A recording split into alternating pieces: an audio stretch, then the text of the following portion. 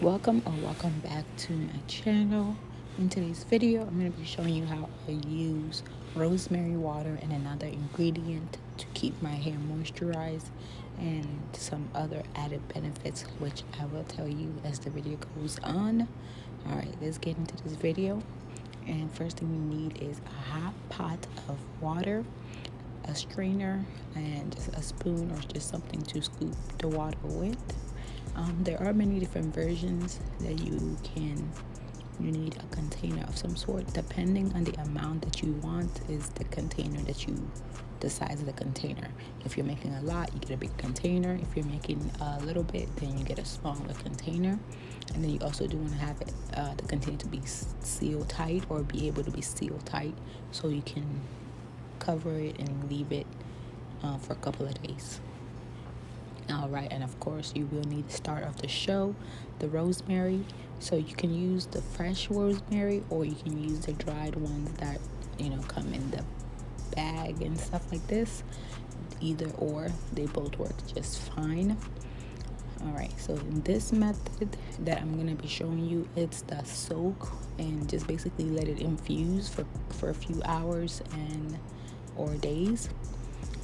So you can also do the boiling method, but that's not what I'm doing here.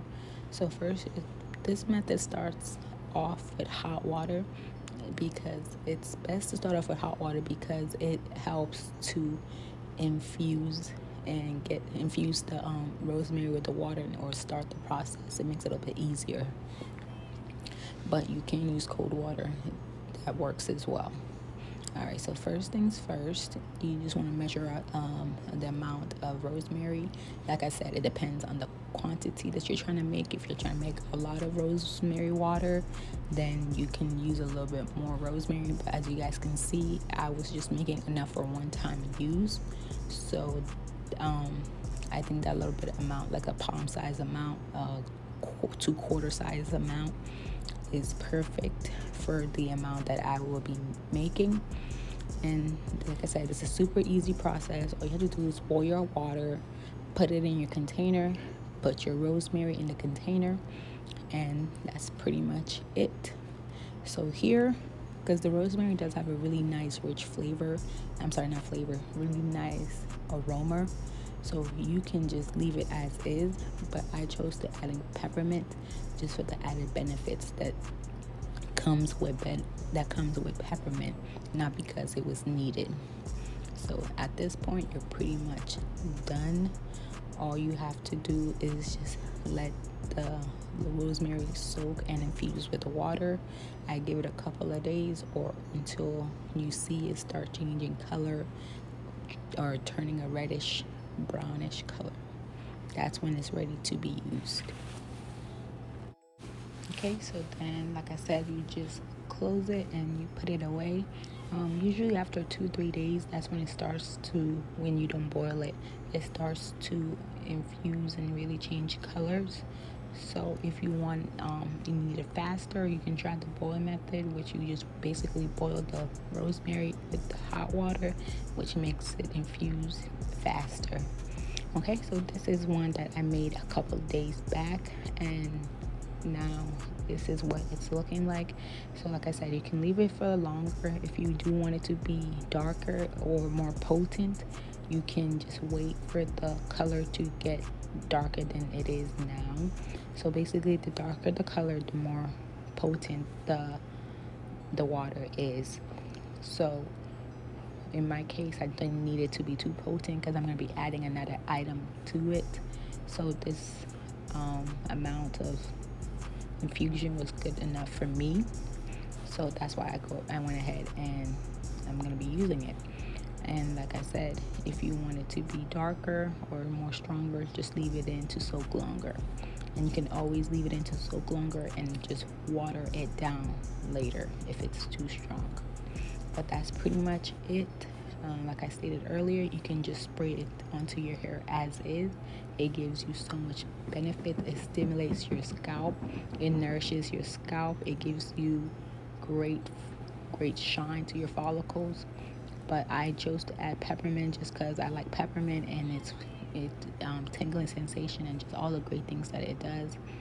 but you don't have to add this. You can just use the rosemary as is. But that's pretty much it. Once I add the items that I like into the spray bottle that I can discard it if um, sometimes I use it again and re-soak it if I needed more but this is like the second time I've used this one so I think it's good it's been used up so I will go ahead and discard that one. But that's pretty much it for my rosemary water.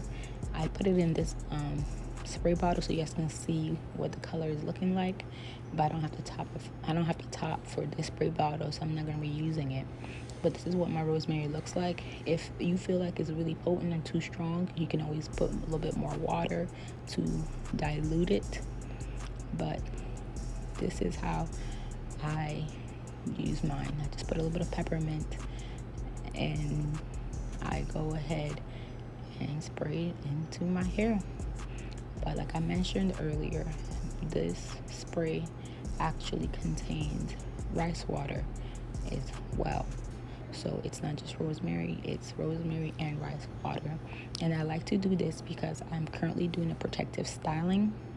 And when my hair is in these mini braids or plaits it's super easy to wash and take care of them. So when it's wash day which it is this weekend the day before that I like to go ahead and apply this two mixture rice water and rosemary because it gives a little bit of time to soak and then I can just kind of leave it in my hair to marinate and soak in and get all the good moisture. And the next day I go ahead and wash it off. And there's no special application or anything like that. I just use this bottle um, that I absolutely absolutely love especially if you do a lot of hair products and hair natural hair videos. This is a really great bottle. It doesn't clog up as easily. You can use oil with it and it sprays this so amazingly onto your hair and every single inch gets it it feels like.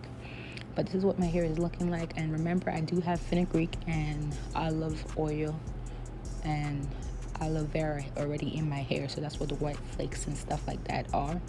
But when I'm done I just go ahead and put a bag on my hair for about an hour or two just so it can soak in and not drip everywhere and then after the two three hours I go ahead and take off the bag and just kind of let it air dry until the next morning or the next day when I will be washing my hair. That's all folks. Thank you so much for watching. Don't forget to like, comment, and subscribe. And I'll see you on the next one. Smooches.